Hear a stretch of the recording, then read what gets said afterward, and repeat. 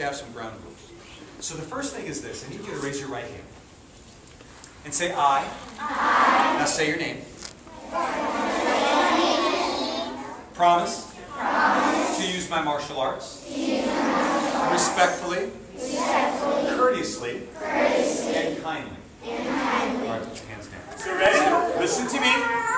Shake it out. Do what I do and say what I say. Ready? Attention! Good. Together. Now, this is the first most important lesson of martial arts.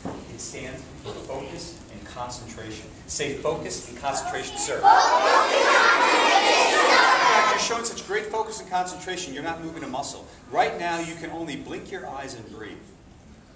And if a bald eagle came, and he was flying, and he majestically landed on this young lady's head, she would not move a muscle.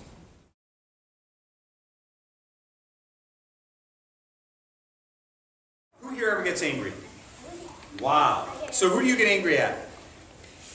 Your brother. Who do you get angry at? Your sister. Who do you get angry at? My brother and sister. Brother and sister. Who do you get angry at? I asked this question to the group before, but it, is it appropriate to throw things when you're angry? No. Is it appropriate to say bad words? No. Is it appropriate to hit someone? No. Is it okay to be angry? Yes.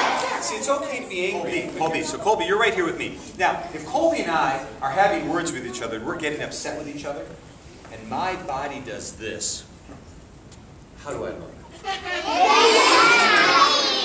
Okay, now watch this. What if I'm this way?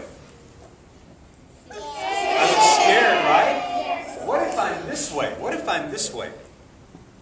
How do I look now? Like I'm going to stop him? Do I look calm? Do I look strong? Yes. See, this is what's called our self-defense stance. And that's the way I want to teach you to use your body. Yes, sir? Yes! Colby.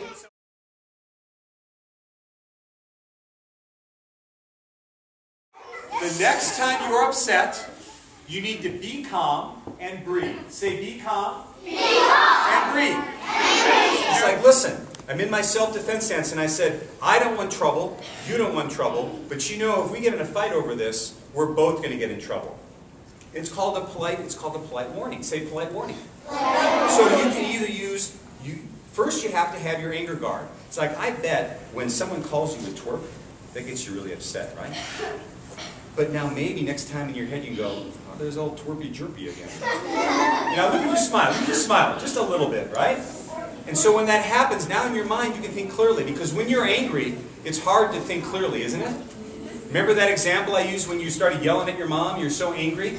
You got to be able to be calm. And then you can use humor or you can use a polite warning. Say humor. Humor. Or a polite warning. Right? The person is right in front of you. You're so angry. Say it again. Say stop. Stop. I'm too angry to talk right now. I need to take a cool down. I need to take a cool down.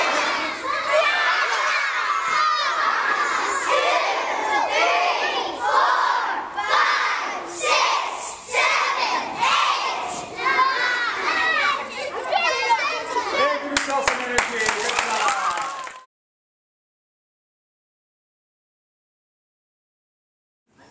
You see, we can all sit around and talk about being kind, can't we? Yes. You know, it's all neat. Oh, we're so kind. We're all, we sing songs and we're happy, right? But it really happens when you start taking action. First, it starts with how you're being, and then it starts, then it, it continues with what you're doing to show, right? Because you have to take action to be kind, don't you? Yes. So I have what I call kindness counts flyers here. It's a challenge. It's a challenge. When you leave today, over the next week, I'm challenging you to do what I call 10, at least 10, random acts of kindness. Your mom just makes you the best meal ever, right? So you go home tonight, she makes you a great dinner, and you know she's worked hard all day. And after dinner, she just gets done and she's got the plates there, they're all over the table and the dishes need to be done, and you say, Hey mom, just tonight, just have a seat. Let me handle this. And then your mom goes, and she just like passes out because she can't believe how, how kind you're being, right? If you do, if each one of you do 10, the whole school would do 6,000. If each one of you did 20, the whole school would do 12,000. If every one of you did 50, the whole school would do 30,000. Wouldn't that be neat? And can you imagine how neat this would be if everyone was being kind to each other?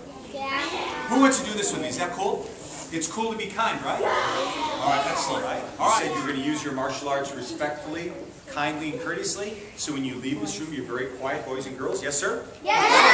So I'm going to say, what's our goal? And you're going to respond, black belt, excellent, sir. Say black belt. Excellence. Sir. All right, so attention position. What's our goal?